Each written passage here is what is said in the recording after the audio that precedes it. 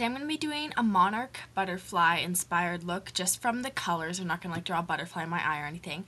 And I'm sorry if I talk kind of fast or go over anything quack, quick, not quack, um, just because this look takes a little while. There's a lot of different colors and stuff that we're using. So if I go too fast, just pause the video and rewatch that little section. And I hope you guys enjoyed the look. So like always, you wanted to prime your eyes first, which I've already done. Um, and then we're going to take a little cream colored shadow. And it is like a cream shadow too. And we're just going to put that all over our eye, even up to that brow bone. Now you want to take an orange or a yellowish color. I'm using that color right there. And we're going to take that and put it in up to our crease. Okay, and you really need to pack on that orangish yellow color. Like, if you can tell, it's really thick because when you first put it on, I just did a little swatch there on my hand. That's about how dark it is. And look at how dark it is up there. So you literally just want to pack it on over and over again. Okay, the next thing you want to do, which I've already done on this eye, is take sort of an orangish brown color, I'm using that color right there, and you want to put it about one to two centimeters in and just pack it on because if you sort of do circles or smudge it, then all that eyeshadow underneath will start to move because it's just packed on so thick, so you just want to pack it on over top. And of course, we need to do highlights, so just take a shimmery vanilla color or a shimmery white color, whatever you like, and place it under your brow bone and in your inner corner. So the next thing we're actually going to do is line our waterline using a white liner just to help open the eye. So after you've lined your waterline with that white, we're going to take a gold or an orangish color of a liquid liner.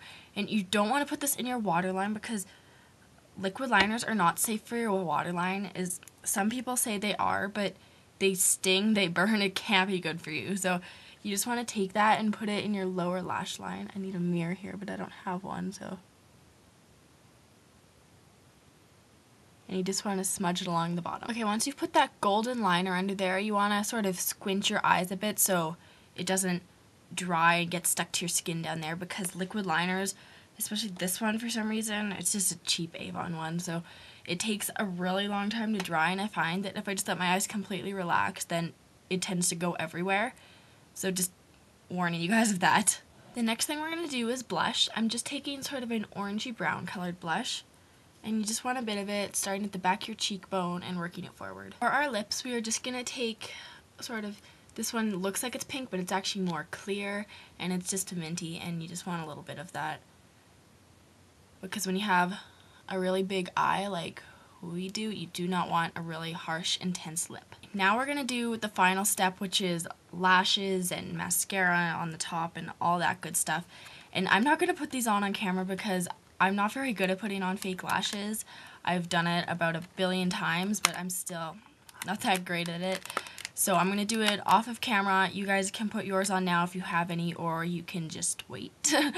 Okay, now I have these huge lashes on. And the reason I picked such a big lash is because if it's more of like a butterfly inspired look, it can be more like the wings and stuff instead of like having to draw a wing out there. Yeah, so if you can tell, they are pretty darn big. I I think they were like seven bucks. I don't remember what brand they are. But now we sort of have to make them blend in because if you can tell this one, I kind of didn't do as good. So we are going to take our liner. I'm using a gel liner. You guys can use whatever black liner you want. Actually, this one's a bit shimmery. I, if you guys can see that, it has like a bit of a shimmer to it, which is perfect. And you just want to line like along the top so it looks like one smooth line. So now that I've done my line on top, it looks a lot smoother and sort of blends in well, even though they still definitely do not look real. The next thing we're going to do is sort of take this and flick it out and my lash kind of looks like the little flick right now, but it is not. So you just want to take it and you want to sort of curl it. This is sort of like inspired by the antenna, I guess. And sort of uh, curl it like that. I don't know if you guys can see that, but yeah, you can. Okay, so yeah, just curl it like that and do that for the other side. Last thing we're going to do is put on some mascara and you want to try and curl your lashes so that your lower lashes sort of blend in with these ones and it's not like lashes, other lashes, because that looks really funny. And it's kind of difficult with these huge ones, so I'm going to do that off camera too. So I've curled them, and now I just want to put a tiny bit of mascara on them. Just sort of blend them all together. And because I naturally have like almost white lashes, so you'll be able to see it really easily. And of course, the last thing you want to do is just put some mascara on your bottom lashes so they look big and full too. Okay, so here is the whole finished look.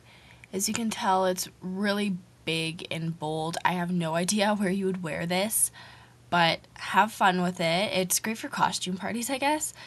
And I'll see you guys later. Bye.